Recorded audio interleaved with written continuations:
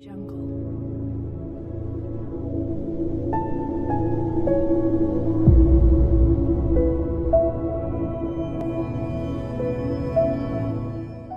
Oh,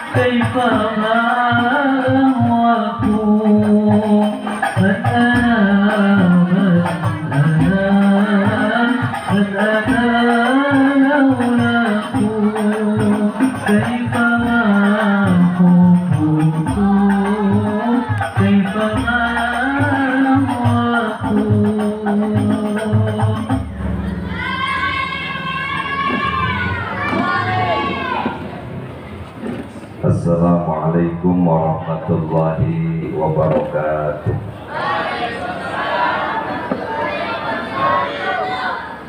Alhamdulillah. Alhamdulillahi Rabbil Alamin.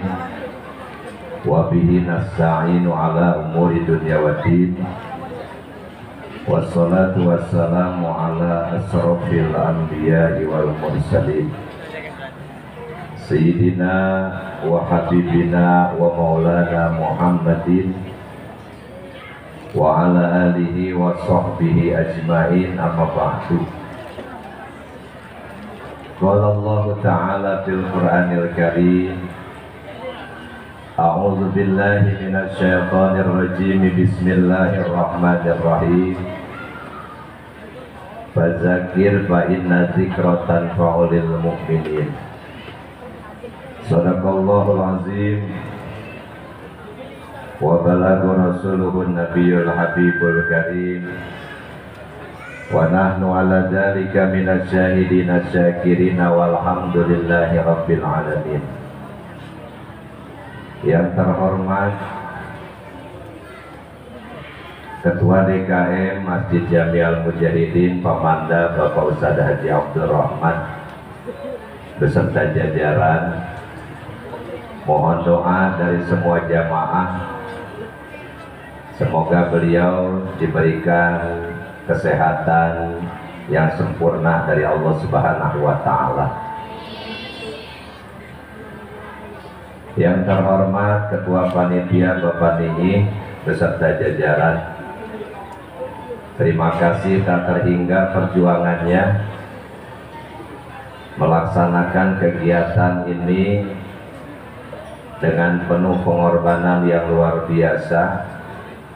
Mudah-mudahan apa yang sudah dicurahkan untuk kesuksesan acara ini semuanya jadi amal soleh di sisi Allah Subhanahu wa taala.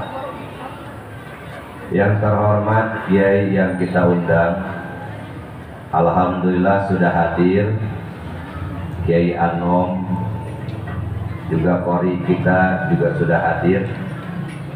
Dan Kiai dari Jakarta Kiai Fikri Insya Allah sedang dalam perjalanan. Kita doakan supaya dalam perjalanannya berkah lancar dan selamat. Yang terhormat segenap tamu undangan mohon izin untuk mempersingkat waktu tidak disebutkan satu persatu. Atas nama DKM kami mengucapkan terima kasih.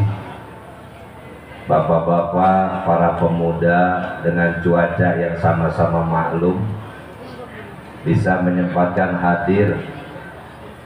Mudah-mudahan perjuangannya pula bisa hadir di tempat ini padahal cuacanya cukup bagus dan cuaca begini mah enaknya bukan ngaji atuh.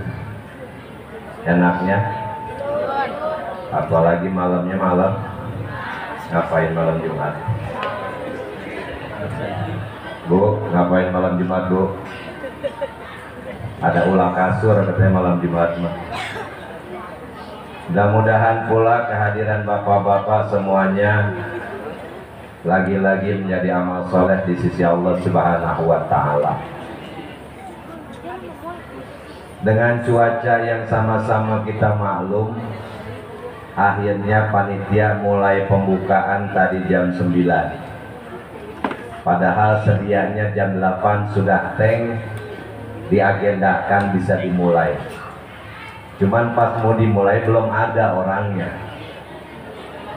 mau ngomong sama siapa karena memang sama-sama malam cuacanya hujan jadi saya tanya dulu nih bapak-bapak hadirin wal hadirat. Kira-kira kalau malam ini acaranya agak sampai malam dikit ridho apa enggak? Ikhlas apa enggak? Beneran ya? Jangan ada dusta di antara Mudah-mudahan semakin lama kita ngaji semakin banyak dosa yang diampuni oleh Allah Subhanahu wa taala.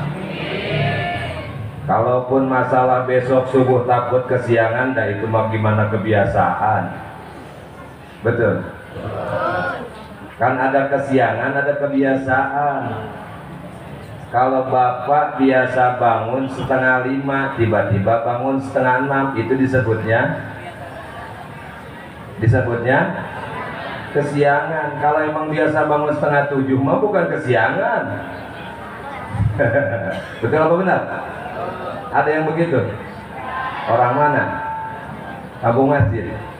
Alhamdulillah jadi insya Allah itu tidak akan jadi sesuatu yang menurut saya harus dipermasalahkan. Karena memang kita ngadain maulid pun setahun sekali. Jadi kalau bapak-bapak gara-gara malam ini besok kesiangan sekali dalam setahun mah. Apa apa setahun tiap hari? Sekali dalam setahun mah bisa dianggap buat buka bab fikih. Kenapa ada sholat yang disebut sholat kodok? Karena Nabi pun ditakdirkan pernah kesiangan Makanya ulama bisa menentukan ada istilah sholat kodok dan itu hikmahnya buat kita umatnya jadi sebuah ilmu. Coba kalau Nabi itu tidak ditakdirkan pernah kesiangan, kita bingung.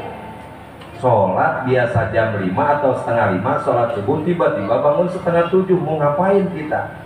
Tapi karena ada petunjuknya Nabi pas bangun kesiangan langsung sholat, wudhu dulu tapi ya langsung melaksanakan sholat. Oh akhirnya ulama ngambil petunjuk. Boleh kalau memang sholat kondisi seperti itu ujurnya jelas karena kesiangan boleh kita kodo bapak-bapak kalau kesiangan kodo apa 14 wa ini?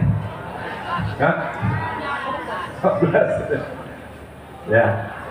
Jadi apa yang dilakukan oleh Nabi? Gak ada yang jadi bukan apa?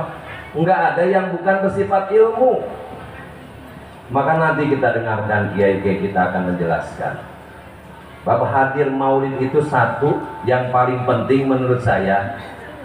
Apa yang dicontohkan oleh Nabi, petunjuk dari Allah ingin disampaikan kepada umatnya, kita tahu.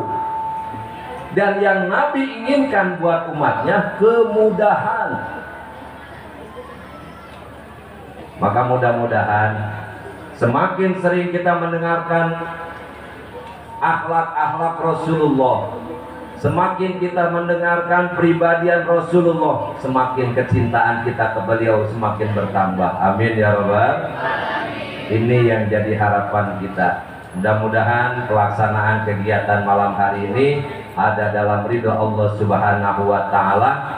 Dan tentunya atas nama DKM kami mengucapkan terima kasih tak terhingga kepada semua yang hadir saat ini Mudah-mudahan sekali lagi menjadi balasan yang berlipat ganda di sisi Allah Subhanahu wa taala dan juga kepada para donatur mobil khusus warga Kampung Masjid Villa Mutiara dan sekitarnya yang sudah menyumbangkan tenaga, harta, pikiran dan lain sebagainya demi kesuksesan, kesuksesan acara ini mudah-mudahan dibalas oleh Allah di dunia wal akhirah. Amin ya rabbal Mohon ikhlas dan ridhonya membacakan satu buah suratul fatihah untuk para pejuang penjarian Masjid Jami'al Mujahidin, para guru-guru kita terdahulu, juga tidak ketinggalan orang tua-orang tua kita. Mudah-mudahan di alam barzahnya mendapat limpahan rahmat maghfirah. Al-Fatihah. A'udzu billahi minasyaitonir rajim. Bismillahirrahmanirrahim. Alhamdulillahi rabbil alamin. Ar-Rahmanir Rahim. Maliki yaumiddin. إياك نعبد وإياك نستعين اهدنا الصراط المستقيم صراط الذين أنعمت عليهم غير المغضوب عليهم ولا الضالين آمين Mohon izin, mohon maaf sebesar-besarnya guru kita Bapak Kiai Hidayatullah SPDI Mudah-mudahan dipanjangkan umur sehat walafiat Mungkin ini yang bisa disampaikan. Mohon izin saya tidak bisa berbaur Karena kebetulan jadi tuan rumah para kiainya. Jadi mohon maaf tidak bisa menyapa langsung dan bersalaman langsung dengan bapak-bapak sekalian. Alhamdulillah kiai kita sudah ada. Sebentar lagi langsung acara kori langsung kiai. Insya Allah nggak akan lama-lama juga.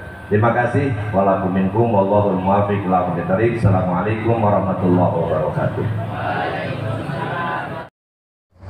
Jojo Al-Kafi Jangan kemana-mana Tetap ikuti di video selanjutnya